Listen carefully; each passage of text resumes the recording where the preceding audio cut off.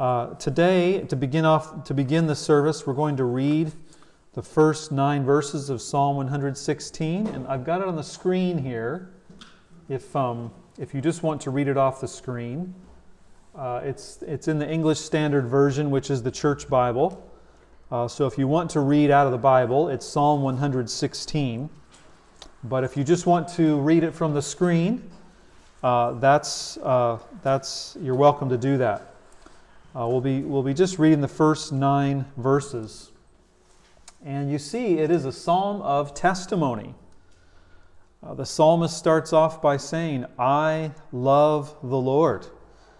And uh, the passage of Scripture we're going to be looking at later, uh, the Apostle Paul quotes from this psalm.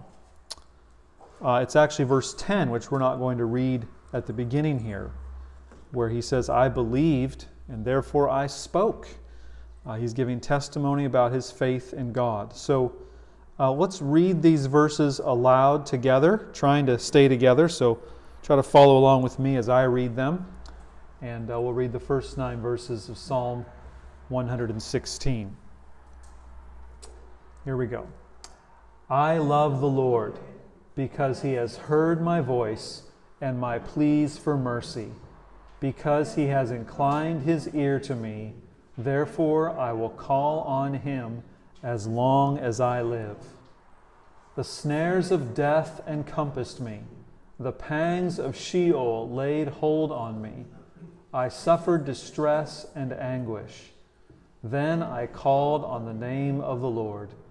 O Lord, I pray, deliver my soul. Gracious is the Lord, and righteous. Our God is merciful. The Lord preserves the simple. When I was brought low, he saved me. Return, O my soul, to your rest, for the Lord has dealt bountifully with you. For you have delivered my soul from death, my eyes from tears, my feet from stumbling. I will walk before the Lord in the land of the living. This is God's word. You may have noticed a, a, a, particular word you weren't familiar with there in verse 3 the pangs of Sheol. Sheol is a word that Bible translators uh, aren't quite sure what to do with. Um, sometimes it's translated as hell or the grave. And it's a word in the Old Testament that speaks of basically the grave or the place of the dead. So they often just translate it, though they don't translate it, they just put it into English letters. Sheol. Uh, the New Testament sometimes uses the word Hades uh, for this word, which again is a reference to the grave or the place of the dead. But the psalmist testified of God's deliverance for him through a time of uh, trouble and difficulty, and he testified publicly I love the Lord. And I trust that you were able to say that with faith and personal meaning as we read it out loud, that you all said to one another as you read that psalm, I love the Lord. Is that, is that true of you this morning? Uh, thankfully, we can gather this morning as Christians and we can say, I love the Lord. And we don't need to fear criticism or, or mocking or anything else. Uh, we all share that same belief and feeling that we all love the Lord this morning. I trust that's true of you. All right, Ashley, if you wouldn't mind just turning the projector off for me. Um, that way we don't need to leave it on the entire service. There we go. Perfect. Thank you. All right, let's pray together and ask God's blessing on our meeting. Heavenly Father, we pray this morning that your name would be glorified we want your name to be lifted up because we love you and we know you are worthy of it. And we must acknowledge that, that we love you because you first loved us. How we praise you this morning for reaching down in your love and drawing us to yourself. Thank you for sending your Son to show us your love by laying down his own life for us. And so we pray this morning that you would give us energy and strength to focus on you and your word. Please work by your Holy Spirit to give us faith and arouse us to love and heartfelt worship. Lord, we do pray that you would be lifted up in all that we do this morning. We ask it in Jesus' name. Amen. We're going to uh, listen to hymn 245. 245.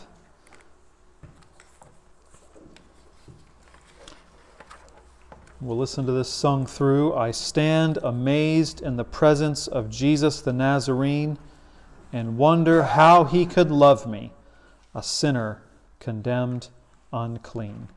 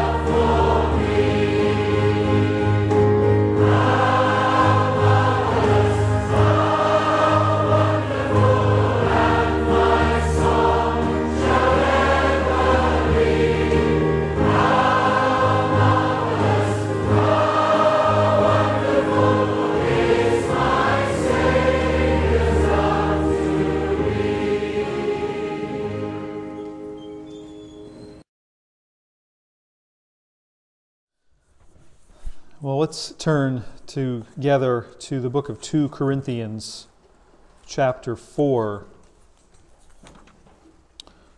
2 Corinthians 4 in the Church Bible. This is page 1162.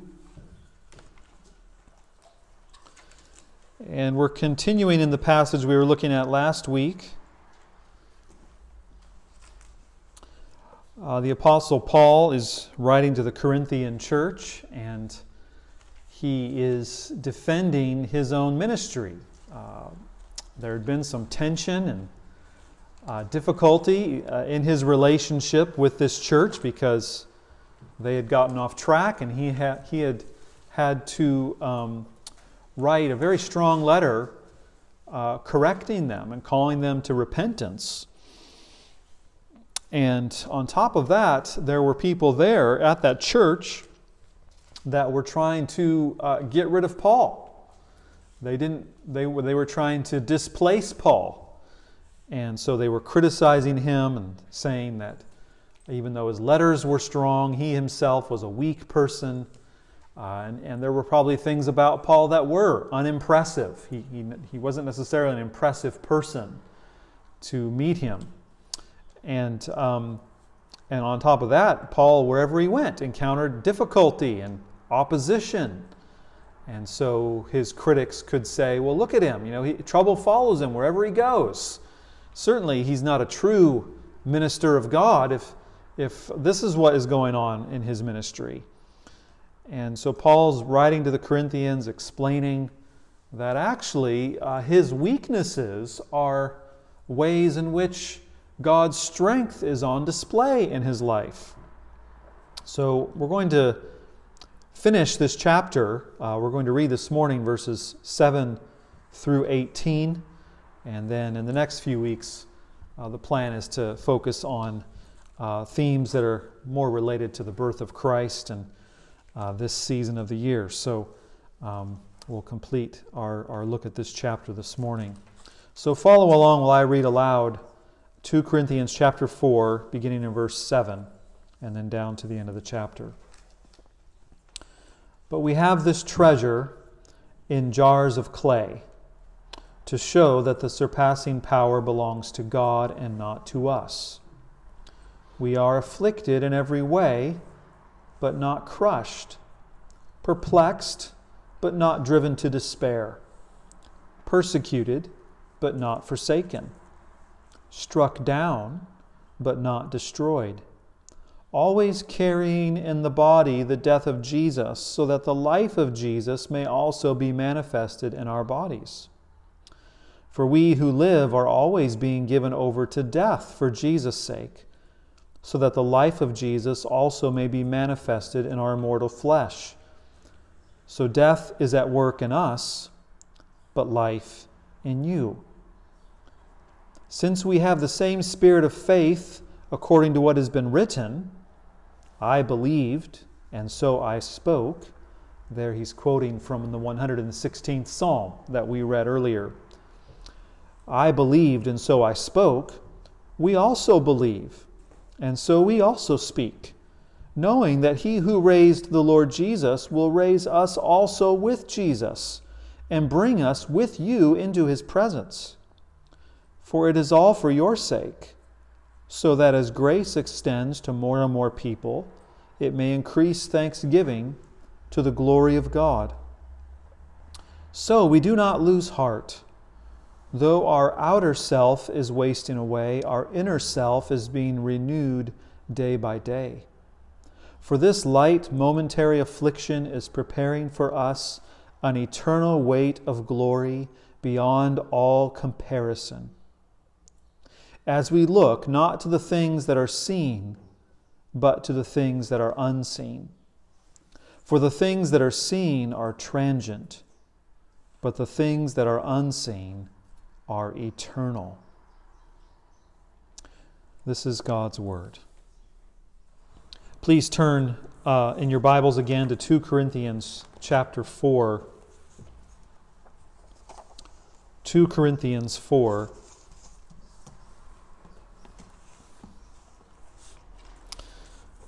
And as we begin I want you to just take note there in chapter 4, verse 1. I told you earlier, Paul is talking about his ministry, the work that God had called him to do as an apostle. And in verse 1, he says, Therefore, having this ministry by the mercy of God, we do not lose heart. And he goes on to explain about that, why he does not lose heart. And then we see again in uh, verse 16, near the end of this chapter, he says again, So we do not lose heart. And then in chapter 5, verse 6, he says, So we are always of good courage. Uh, and so you can link those phrases together uh, to remind you that this, this part of 2 Corinthians is all about not losing heart. It's all about keeping your courage. And it is true that uh, Paul here is speaking as an apostle. He was a preacher and a specially commissioned preacher uh, who, who fulfilled a role that no one else could fulfill. Uh, there's no one else since Paul doing what Paul did. Or he was a foundational worker. And so there are things about Paul's life and ministry that are completely unique. Uh, in a sense, you won't ever be in his shoes. But in another sense, um, what is true of Paul and what, what Paul says about what gives him courage and what helps him not to lose heart applies to us as well. What might have caused Paul to lose heart? Well, I want you to just turn quickly to chapter 11 of this book. So, several chapters later, chapter 11, uh, the Apostle Paul is uh, discussing how there are other people who, who boast of their ministries and would even claim to be uh, more fit for Christian work than Paul is. And Paul begins to somewhat facetiously compare himself to them. He's not actually serious here. He's, in a sense, he's saying, This is ridiculous that I even have to do this. But let's talk about what it looks like to be a Christian minister and an apostle. And that's why he says, for example, in verse 21, To my shame, I must say, we were too weak for that. He's comparing himself to what these other people had done. But then he goes on, But whatever anyone else dares to boast of, I'm speaking as a fool. Okay, he's saying it's ridiculous that we're even doing this, but because it's come to this, uh, I also dare to boast of that. Are they Hebrews? So am I. Are they Israelites? So am I. Are they offspring of Abraham? So am I. Are they servants of Christ? I am a better one. I'm talking like a madman. He means they're, I feel crazy even saying this. But then he goes on, listen to this with far greater labors, far more imprisonments, with countless beatings, and often near death. Five times I received at the hands of the Jews the 40 lashes less one. In other words, 39 lashes. Three times I was beaten with rods. Once I was stoned. Three times I was shipwrecked. A day and a night I was adrift at sea. On frequent journeys, in danger from rivers, danger from robbers, danger from my own people, danger from the Gentiles, danger in the city, danger in the wilderness, danger at sea, danger from false brothers, in toil and hardship, through many a sleepless night, in hunger and thirst, often without food, in cold and exposure. And apart from other things, there is the daily pressure on me of my anxiety for all the churches. Who is weak and I am not weak? Who is made to fall and I am not indignant? If I must boast, I will boast of the things that show my weakness. All right, Paul opens his heart there and opens up the book of his life, so to speak, and says, If you want to talk about what it looks like to be an apostle, let me tell you. Let me tell you the things about my life that have shown God's strength. And he goes on to recount, as we just read, this horror show, horror show of experiences You'd think, um, you know, in modern times, if a Christian leader experienced just one or two of those things, uh, you'd likely to, to, to, to see a book or two published about it and probably a speaking tour of the person going on to explain all these things that they've experienced uh, for the sake of the gospel. And Paul is just saying, This is just normal life for me. Beatings, shipwreck, danger everywhere. And as you read all these things, you can see uh, Paul was unusual, although possibly there are even Christian leaders today, people we've never heard of, and perse- places where Christians are persecuted who've experienced some of those things. Now, we're not all given the same things to do as Christians. It's not likely God's going to call you to live a life like Paul. But you are called to live the same kind of life. What I mean by that is that in God's purposes for you, you will experience weakness. You will face times when you are afflicted and suffering and, and you will have you will face the same opportunity to experience God's strength in the midst of grief, affliction, and hardship. You are called to live the same kind of life, even if you're not going to do all the same things that Paul did or that, a, or that some other preacher might, might do. And here Paul is discussing how to keep your courage in the face of trials and difficulties. Remember verse 1, verse 16, chapter 5, verse 6. He says, We do not lose heart. And certainly as a Christian, we all face times when we, we might be tempted to lose heart, to become discouraged, to, to be overwhelmed with trouble, and, and just even contemplate just giving up entirely. And Paul says, I'm not losing heart. I'm not I'm always of good courage in fact. How do we face trials and difficulties and keep our courage or not lose heart? I wanted to look at this from three different perspectives in these verses.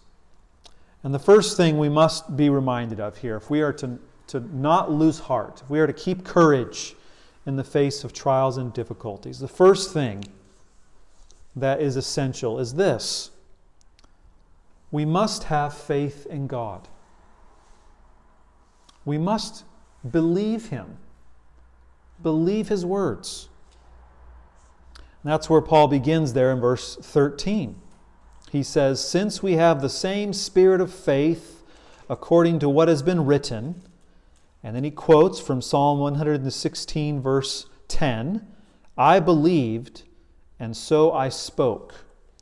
Now, just, just a brief word of explanation here about what you would find. If you, if you go back to the, in your English Bible, Psalm 116, verse 10, you're going to see it's, it's, it doesn't read the same way as Paul's quoting it here in um, 2 Corinthians 4. And the reason for that is in your English Bible, Psalm 116 is translated from the Hebrew, and Paul here is actually quoting from the Greek version of the Old Testament, which is called the Septuagint, or some people pronounce it Septuagint. And often the Septuagint is translated in such a way as to offer a bit of interpretation or explanation. They, some parts of the Greek Old Testament are, are translated not quite literally, but just to give you the idea of what they believe was meant by those words. And um, not to get technical here, but the Hebrew is actually, and I'm not a Hebrew scholar or anything. I don't, I don't read my Hebrew Bible every morning or anything like that. Um, but the Hebrew there is, is, a, is, complicated and difficult to translate. So um, when, when the Old Testament was put into the Greek language hundreds of years ago, often they took a little bit of liberty in in just telling you, well, this is what it means when they put it into Greek. And that's often what Jesus quotes from, and that's often what the, the disciples quote and the apostles quote from. So that's why you might find a difference between what Paul says here, quoting from Psalm 116, and what you might find when you turn to Psalm 116. But the idea here that Paul's drawing from is, is the idea that the psalmist believes God. He's speaking out of the abundance of faith when he recounts how God delivered him. And in that psalm, which we read together, part of it anyway, the psalmist is publicly praising the Lord for rescuing him when he was in dire need. All right, you might meet a joyful Christian, or you might think to yourself, well, you know what? If my life wasn't so hard, I would be a more joyful Christian. And actually, what you find in the Bible is that it's the, the complete opposite. the, the Christians who are the most joyful, the most satisfied with God's provision and help, the most content with their circumstances are not the ones who've not experienced difficulty. They are the ones uh, whom God has brought through severe difficulty, like what you read in Psalm 116. Don't ever think, oh, I would be a happier Christian if God would just remove some of these trials from my life. Those trials are the very thing God is wants to use in your life to show you his goodness, to, to let you experience his love and his faithfulness. And it's when you come through difficulty and you throw yourself wholly on the Lord's care and his help and strength that you come through it and you say, I love the Lord. It's when you don't experience any trouble and, and life is just calm and trouble free that, that your experience of God's care is, is minimal. All right, so the psalmist is publicly praising God for bringing him through, uh, for rescuing him in, when he was in dire need. You know, and we read some of these things this morning. He sums up what he experienced this way. He said, "The snares of death encompassed me; the pangs of Sheol laid hold on me. I suffered distress and anguish. But then later on, he says, You have delivered my soul from death, my, my eyes from tears, my feet from stumbling. David says, or the psalmist says, When I was brought low, he saved me. And that is what has led him to this joyful testimony he has in that psalm. So the psalmist believes that God cares for him and he's going to speak about it. That's the essence of what Paul's getting at here when he says, according to the same spirit of faith that has been written, I believed and so I spoke. We also believe, he says, and so we also speak. And this seems to have a pretty broad application. He's, he's talking, I think, first of all, about his preaching. You know, if Paul would have just decided, okay, I'm going to keep my mouth shut about the gospel, all of his troubles would have been over. All right? If you want if you want to just avoid trouble in this life, well, stop living as a Christian. On the surface anyway, you'll avoid a lot of hassle that way. You won't be looked on as strange. You won't be persecuted. You won't be laughed at. You, you won't have people think that, that you're just kind of an oddball who doesn't really get what life is all about. But Paul says, we believe and so we speak. And for what, Paul, for what that meant for Paul was he was going to continue faithfully preaching the gospel, come what may, uh, regardless of the fact that he was going to encounter trouble as a result of that. But, but this really is the starting point in dealing with any difficulty. You must say, as a Christian, I know that I can trust God in this. I don't, I don't know what's going to happen. I don't even know necessarily why this is happening to me, but I know I can trust God in this. I mean, that is all, that's the whole, in a sense, that's the message of the Bible. Believe God, trust in Him. And there's story after story of people that put their confidence in God, and God did not let them down. You could be, there's a story about three men thrown into a furnace because they wouldn't bow down to idols. In the book of Daniel, they were literally thrown into a furnace, and God brought them through it. Now, that's not to say that every Christian ever thrown into a furnace is going to survive. But in their case, it was God's purpose to bring them through it safely. They didn't even smell like smoke when they came out of it. But they, they, they didn't know that was going to happen. They didn't know God was going to do that. They were willing to be thrown into the, furnace and incinerated. They were going to be faithful to God. You must, you must say as a Christian, I know I can trust God in this. You know, picture, maybe you've seen this or maybe you've experienced something like this. Picture a, a dad in a swimming pool. And he's, and he's standing there in the shallow end, and he's got his four year old on the edge of the pool, and, and he's saying, just, you know, just jump in. You know, he's trying to teach them to overcome their fear of swimming or of the water. And he's saying, you know, I'm, I'm right here. You know, nothing will happen to you. Just, just jump in and I'll catch you.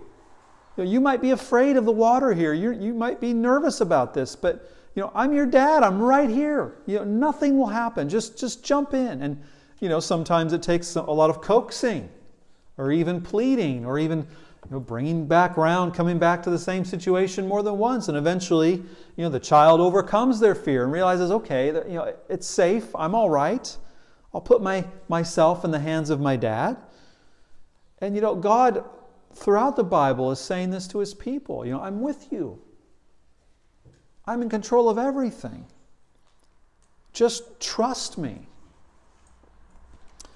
Now, Paul goes on then to talk about a couple of different things specifically that he has faith are true.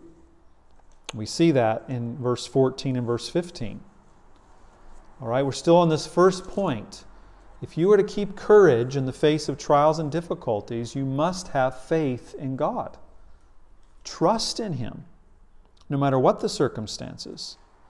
But he goes on then in verse 14 to speak of future resurrection and finding yourself in the presence of Jesus. Look what he says in verse 14. End of verse 13. We also believe, and so we also speak, knowing that he who raised the Lord Jesus will raise us also with Jesus and bring us with you into his presence. All right? Paul here is talking about faith in the future resurrection. And this is all the hope of the resurrection is I mean, you really can't have Christianity without this. There are people today who would, would say, Oh, yeah, I'm a Christian.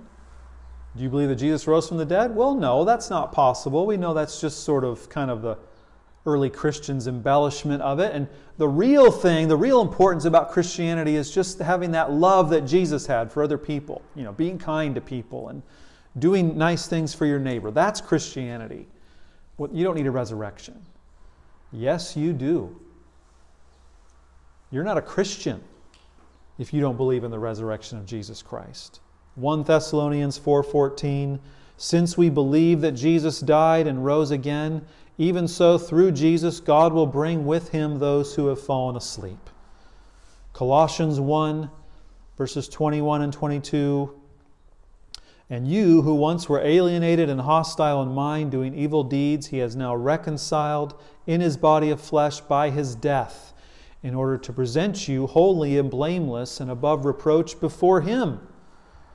Not only are you going to be raised, but you're going to be presented before Jesus. So think about that. Whatever you face this week, you could, you could spend the rest of your life persecuted as a Christian. One day, God's going to raise you from the dead, and you are going to be in the presence of Jesus Christ. You are going to stand there before Him. You are going to look at Him and know that He is your Redeemer. And Paul had his eye on that end goal. God made you so that you would live for His glory and then one day be with Him forever. Forever. That's a long time. Paul also had faith that God would be glorified through his life. Okay, he says, verse 14, knowing that he who raised the Lord Jesus will raise us also with Jesus and bring us with you into his presence. But then he goes on to speak of the purpose of what's happening in his life in verse 15. For it is all for your sake he says. He's writing to the Corinthians, for it is all for your sake, so that as grace extends to more and more people, it may increase thanksgiving to the glory of God. Paul's perspective of his own suffering was that it was resulting in the grace of God spreading to more and more people.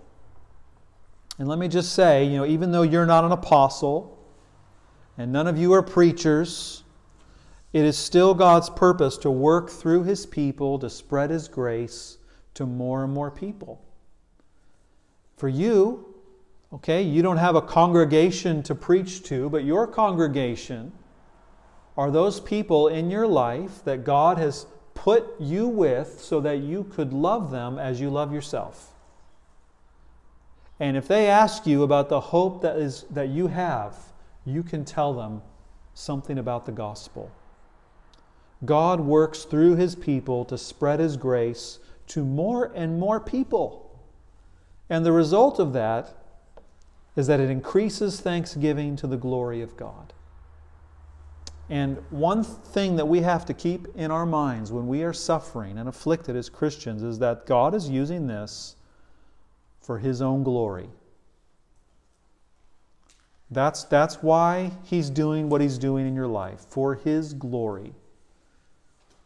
And there are times you may feel like, well, I don't see how this is bringing Him any glory. Even if you yourself are trying to glorify God, you might think, well, no one else knows what I'm going through, or you know, I'm not really telling many people, I'm not able to tell many people about all this. Well, one thing, you should make that a matter of prayer. Lord, how can I how can I better glorify you through this? How can I be a better witness because of this? But secondly, you just need to trust that God is working for his own glory in your life. And, and you need to ask God for help to respond to the affliction in your life in a way that is glorifying to Him. So we keep our courage as we exercise faith in God. All right, friends, trust the Lord. Find His promises in His Word and trust in those things. Don't, don't act like the jury is still out on whether God is faithful or trustworthy. He has declared what He is. He has made promises. He's given you a Bible full of stories and examples of how He has been faithful in the past. Put your trust in Him. And that will really enable you in this second area, here's, here's the second way that we, that we keep our courage, that we don't lose heart. It is through, this is second now, through our personal experience of God's grace. Verse 16. Paul here returns to one, his big objective in this part of the letter. He says, So, in light of what he's just said, we do not lose heart.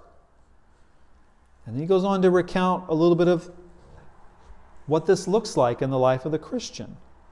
He says, though our outer self is wasting away, our inner self is being renewed day by day.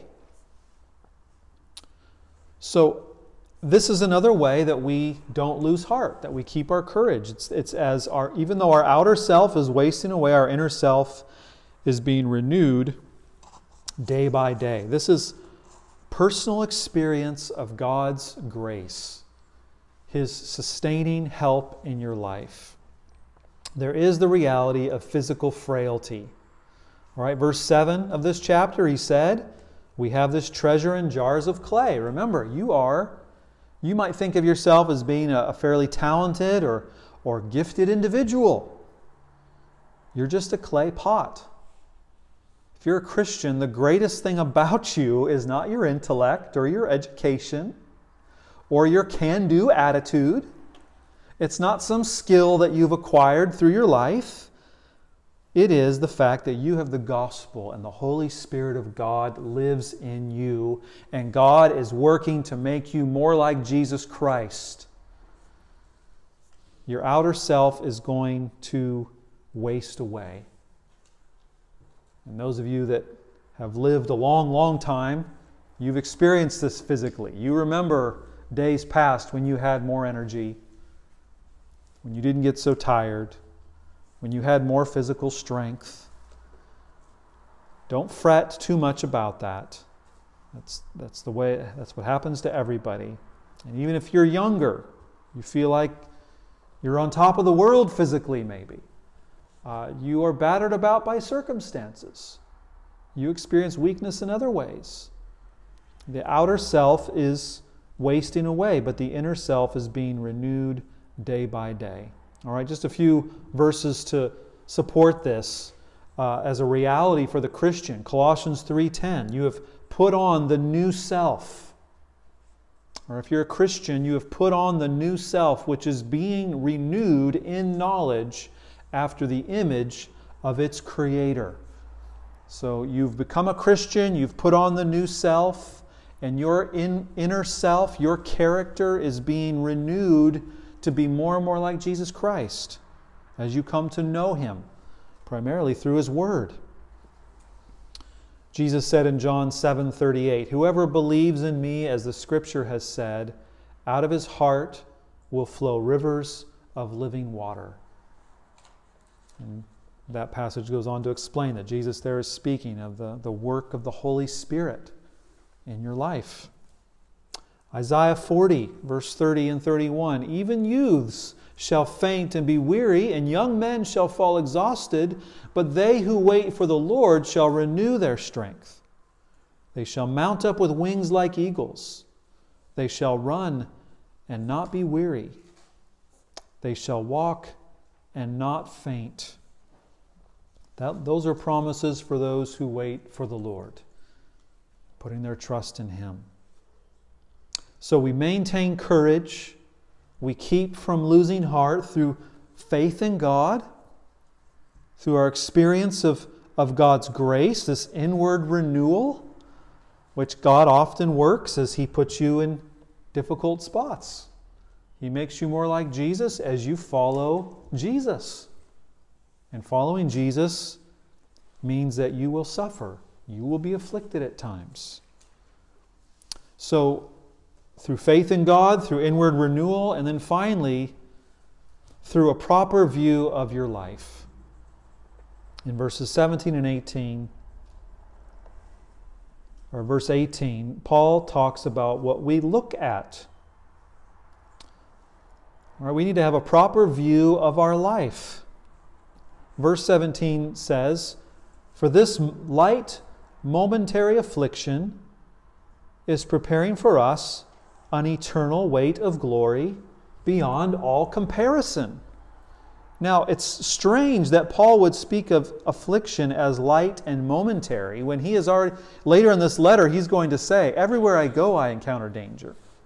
I've been shipwrecked. I've been beaten with rods. I've been lashed with whips. I've gone hungry. I've been exposed to cold. I've been chased by enemies. And you might think, well, light and momentary? That's not how I would describe it. That sounds pretty heavy, pretty constant. But in comparison to what he calls the eternal weight of glory that we experience one day when we're in the presence of Jesus Christ, any affliction in this life is light and momentary. It won't feel like that sometimes. This is where what Paul says in verse 18 comes into play. Where are you looking? Where are you looking? All right, he says in verse 18, as we look not to the things, okay, affliction will seem light and momentary as this is going on in your heart. Verse 18, as we look not to the things that are seen, but to the things that are unseen. For the things that are seen are transient, okay? That, that means temporary.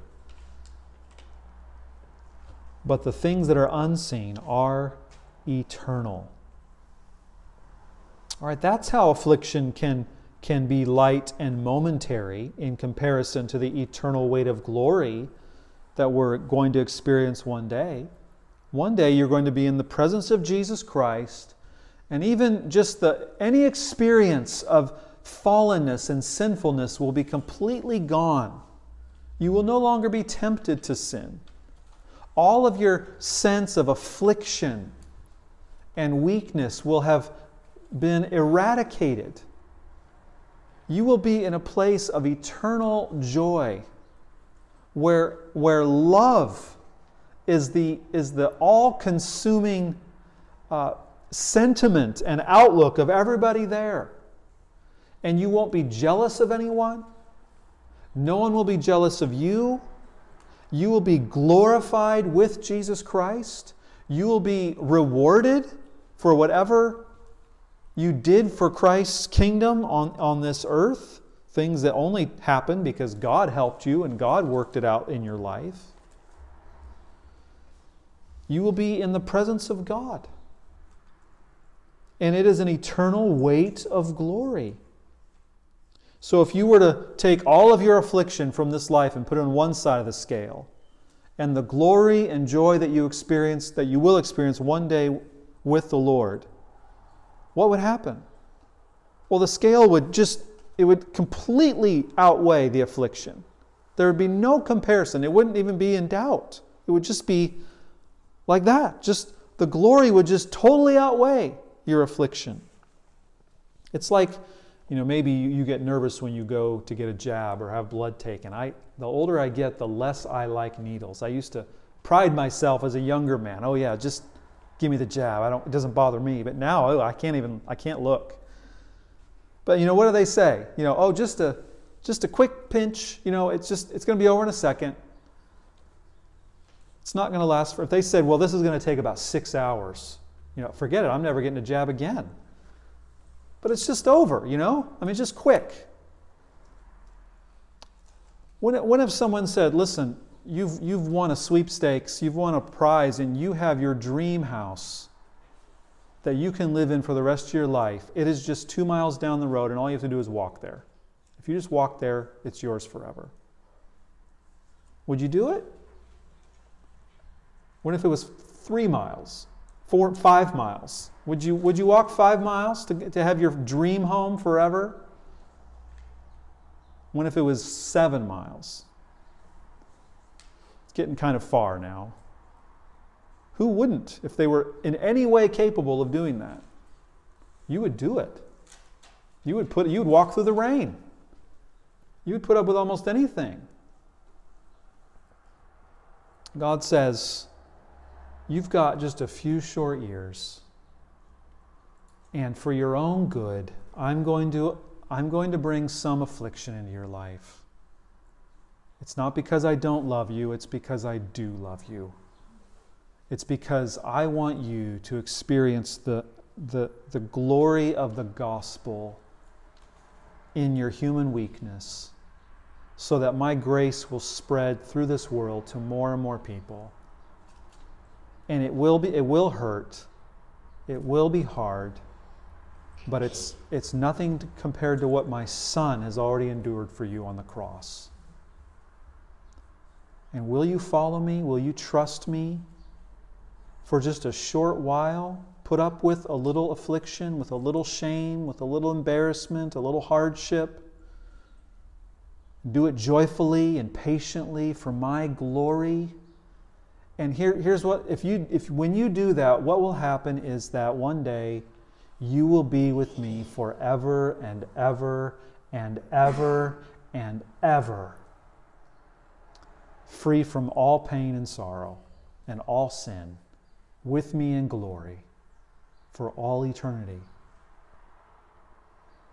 And knowing that that's coming allows us and helps us to keep courage now really, eternity is, is just around the corner for every one of us. I mean, it is, it is just out of sight, but not far. And one day, you know, the curtains of this life will drop, and you will find that the, the real eternal glory that you will have with Christ forever is just right there. It's, it's unseen right now, but it's eternal. The things that you see, the pain that you feel, that is temporary. it is temporary and it has a purpose, a God given purpose. Can you embrace that?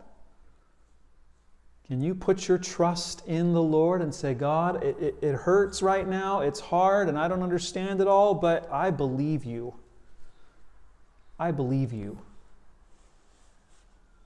And I want, to, I want to look for and wait for that eternal world. You don't have to lose heart when you come into affliction.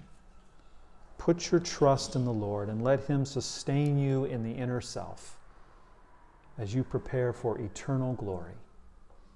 May God give us the help we need to live like that. Let's pray.